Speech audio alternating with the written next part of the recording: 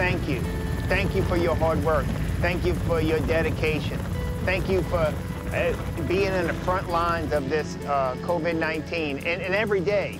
Well, and we're pleased and we're happy to have you uh, service our community. But most of all, we just want to say, a, a, send out a great deal of gratitude.